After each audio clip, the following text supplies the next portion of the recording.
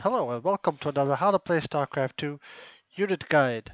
In this guide we'll be going through every single unit in the game and going over their strengths, their weaknesses, some of their abilities, and this time, something new, their matchup specific uses. And in this video we will be talking about the Immortal. Now the story of the Immortal actually begins with its predecessor, now we're going to do something a bit new its predecessor, the Dragoon. Now, if you didn't play Brood War, you actually might want to consider doing so. You can get it completely free from Blizzard. See? Play for free. You don't see that every day. Now, if you want better graphics, you can get remastered. I'll leave a link down, down below. Now, anyway, the Dragoon itself. This is a Legacy of the Void rendition of the same unit. Now, it had a similar role to the Stalker. It could move and shoot in contrast to the Zealot, which was still a melee warrior. It was a golden robotic walker. Now, its role in StarCraft 2 was fulfilled by the Stalker, which we have already covered. Blizzard still wanted a Blizzard still wanted a golden robotic walker of some kind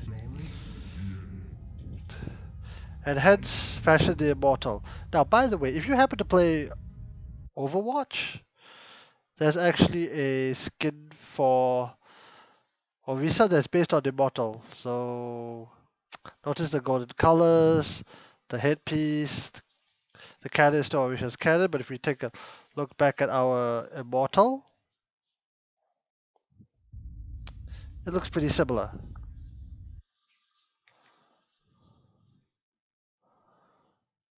See, so if you look at the Immortal, you can notice that the headpiece is the, is the same that you see on Orisa.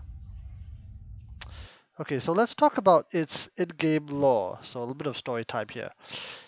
Now, for the Dragoon, the ones that I just displayed, so what those are, are those were a robotic warrior, a robotic walker rather, housing a wounded Templar but mostly Khalai warrior too injured to fight in the traditional sense. Now, if you play or know Warhammer 40k, this is effectively a Protoss Dreadnought. And these are venerated warriors who are turned into machines to continue serving. And there were many back in there were many back during the First Great War, the most famous of them being none other than Fenix from Heroes of the Storm if you if you play that game. You can thank a Hydralisk for that actually. So yes, this is Fenix, and he's a Dragoon. Because he lost a fight to a Hydralisk. Anyway, that's uh, Brood War stuff. However, however, after the fall of Aiur during the First Great War, Aiur, Aiur was the Protoss homeworld to the Zerg. A lot of Protoss died. According to the wiki, some 7 out of 10 were killed. And after that, any Protoss who were wounded in such a state but still wanted to serve were put in these upgraded, newer, tougher, immortal exoskeletons.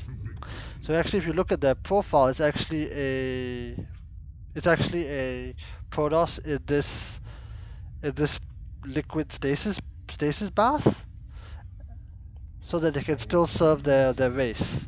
So that's the kind of grim lore behind the immortal. Okay, so let's talk about where they're produced from. They're produced from the robotics facility, so let's go over that.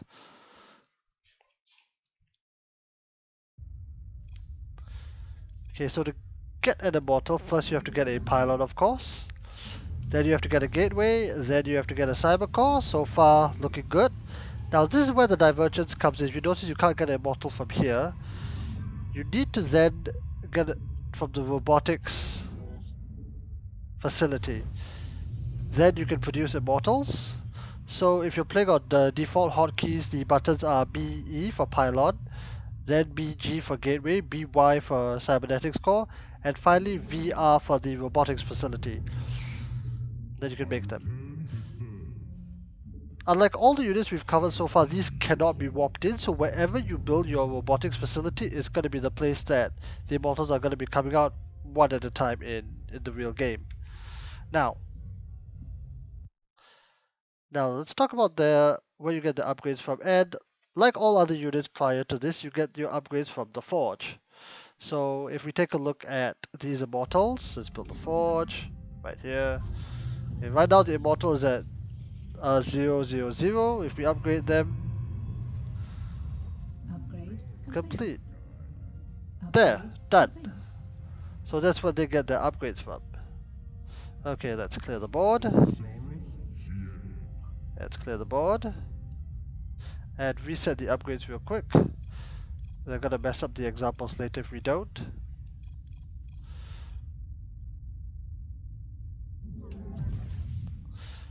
Okay, so the Immortal has one key ability, and that is something called barriers. If you look at the older games, sometimes it's called uh, hardened barriers.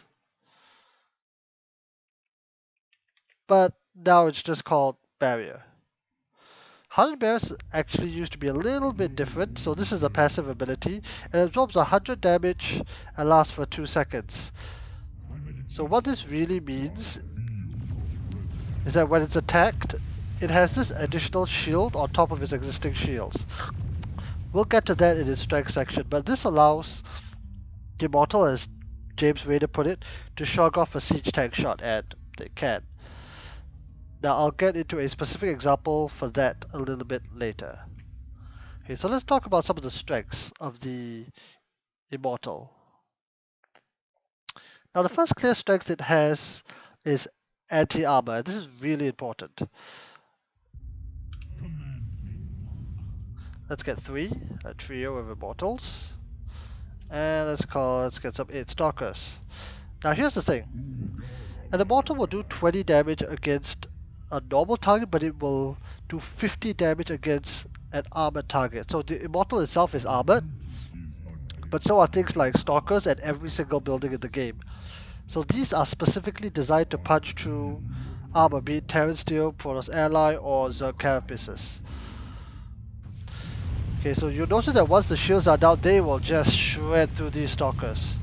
This is why immortals are so important in PvP. We'll get to that towards the end. And they're all gonna die. Yep. So if we look with at uh, Carapace, okay, roughly the equivalent.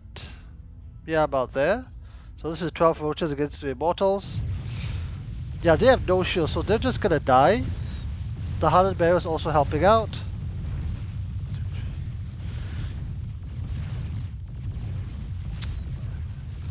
Easy victory.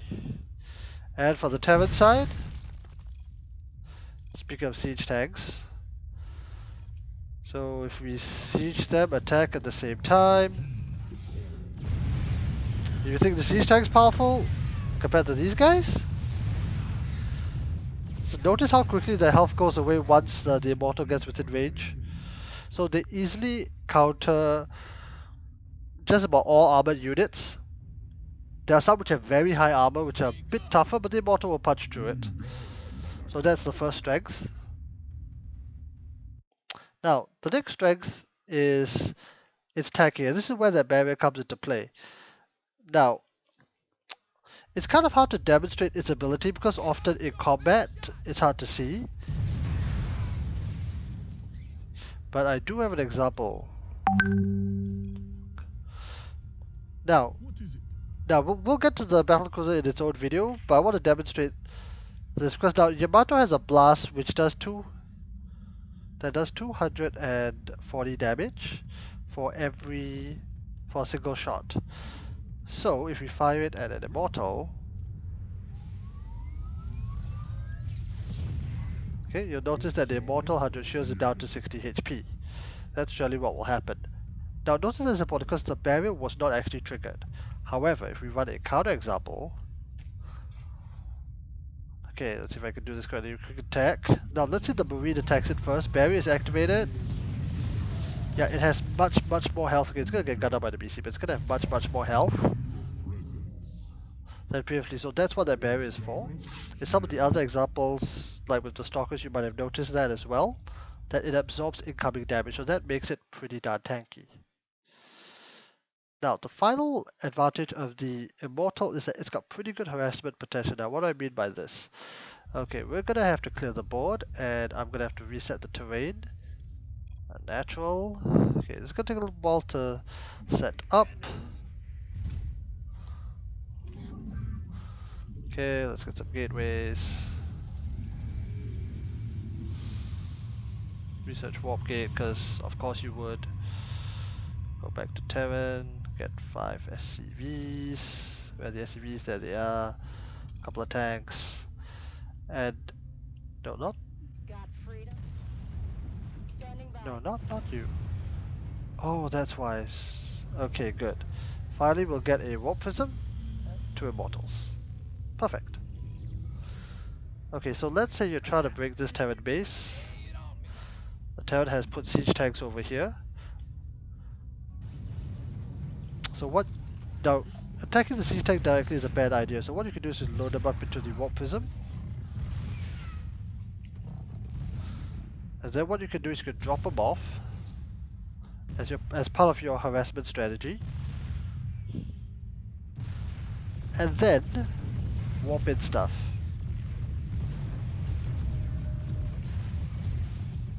Yeah, so you can have a lot of potential here.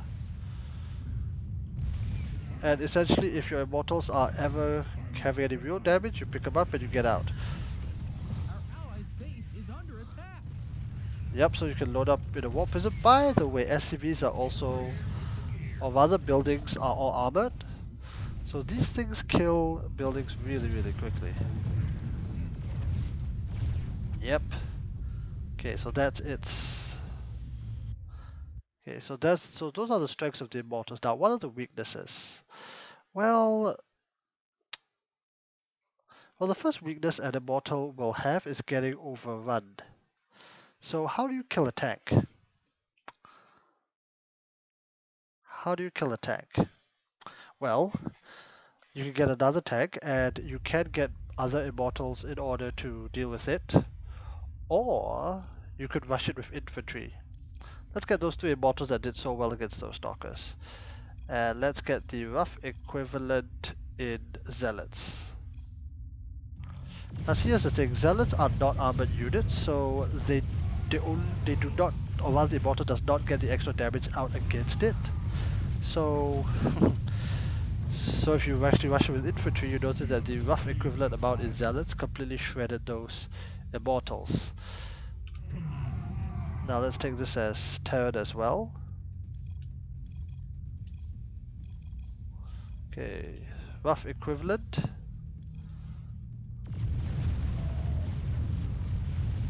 Okay, the Hunter Bears, they're taking, they're taking it, but notice that Immortals just don't kill Marines very fast. They're slower than Zealots, slower than a lot of things. Yep. Or, worse still, like, they punch through those roaches, no problem. But against just 15 Zerg, like, they don't kill Zerglings very quickly, that's the problem. Okay, maybe... Okay, so they took down 15. Let's up those numbers. Let's up it to 25. Again, the immortals still cost a lot more. Yeah, in fact, in fact, you can even take the same number of workers and now, now the immortals are dying.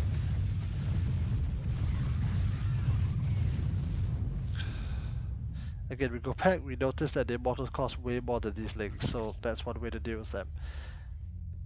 Now, the other way to get rid of a tank is via airstrike.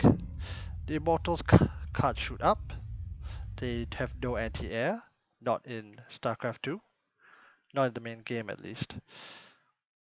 So another way Zerg can deal with this, you see a bunch of immortals, okay, Zerg gets a Aspire, Zerg gets any amount of Mutalisk,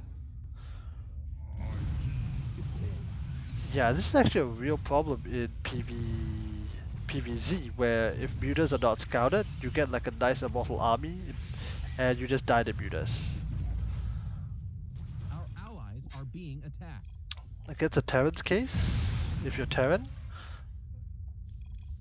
a good counter is the Liberator. Ah, Commander. We'll get to the Liberated Zone video. Didn't even make it halfway across. Now finally, if you're Protoss, yes you could get the Void Ray, we'll get to that as well, but there's also another interesting thing you could do. So in the previous example we had those 8 um, Stalkers. Let's go for 6 and let's trade the other two out for Phoenixes. These flying things. So if we start and if we click attack and if we micro Oh crap. Yeah, so this is something that actually happens in Protoss versus Protoss. If one player goes for Immortals, that technically count as Stalkers, but if Stalkers have the relevant air support and a little bit of micro, this is going to happen. The other player can't do anything against it. Now, the other problem about the Immortal, and this is something a bit more to do with their macro cycle, I'm just gonna talk. I'm just gonna talk here. Mm. Is that while they're not super expensive, they, I mean they're, they're kind of expensive. 270 meters, 100 gas is not quite an Archon, but while they're not super expensive, the real problem is the three units here: the Observer, the Warp Prism, and the Immortal. Which is you need a while to to get this critical mass. Each Archon takes, or rather, each Immortal takes a full 39 seconds and you can only make one at a time so you will need to take a few minutes to, to create that mass of immortals however if the enemy gets a good engagement and kills all of them those high-tech units um, the enemy be it Terran or, or Zerg could just flood Marines, flood push across and kind of kill you. so the, the disadvantage here is that these are fundamentally irreplaceable losses and you kind of have to look after these these high-tech units. Okay, so those were some of their weaknesses. And now we're going to do something a bit new to talk about the uh, matchup specific. So in PVT, as seen earlier, yeah, so in PVT, as seen earlier, they're used to break the siege tank lines. If not, there's no real way a Protoss army can hit these tanks sieged up head on. In PvP, as again seen earlier, they're used to take on Stalkers. And in PvZ, they're used to take on if the enemy goes for a more uh, Roach Ravager composition, maybe sometimes with uh, lurkers behind that, this could be good thing. Of course, Immortals do a lot of damage to buildings, so it's good to just have them wrecking bases. Okay, so those are my matchup specific comments. Okay. So in conclusion, so in conclusion, you know, Immortals are a key unit for any Protoss army. And as a result, they're part of that they're part of that Protoss Death Ball, you know, immense precision firepower, but you do need support on their flanks and the disguise. They are valuable and you need to treat them well because not just because they're valuable warriors, but if you lose them, you will likely lose the game. It's happened plenty of times. Okay, so this is time for the outro. If you like this guide, please do like and subscribe. I will be trying to make as many videos of these I can. Um, as well as some other SC2 content. If you have any feedback or comments, please uh, enter down below. And thanks for watching. That's the Gundam style, by the way.